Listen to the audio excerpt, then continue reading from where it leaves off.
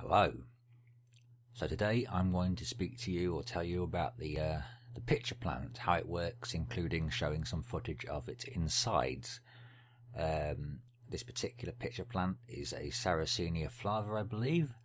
Uh, I don't mind chopping it up for this because it's a plant that is actually currently in dormancy and would otherwise be pruned anyway, and therefore I figure we can use it for educational purposes.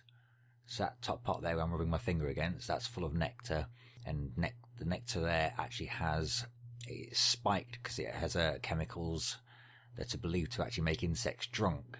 So a combination of nectar that tastes good and make insects drunk, plus downward pointing hairs, plus a very slippery surface because of the nectar, uh, it makes it quite an efficient death trap. That's why this plant is so very uh, efficient at what it does. And uh, there's me showing I can count to two. Yay go me. In a minute I'll show the inside of the plant, the death trap, hold to oblivion.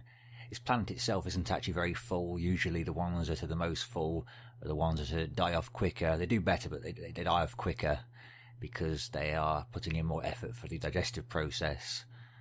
This one didn't have so many in, and therefore it's uh, lasted a bit longer.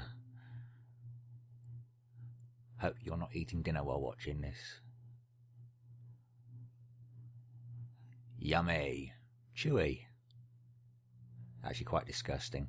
But yes, that's uh, what digested insects look like, where the nutrients have been absorbed out of the insects and back into the plant to make it a, uh, a healthier plant. But, uh, brown bits that you see around the uh, those areas are actually parts where uh, the plant's been getting indigestion because of the uh, the amount of insects there. So, yeah, that's a very basic overview of how the pitcher plant works.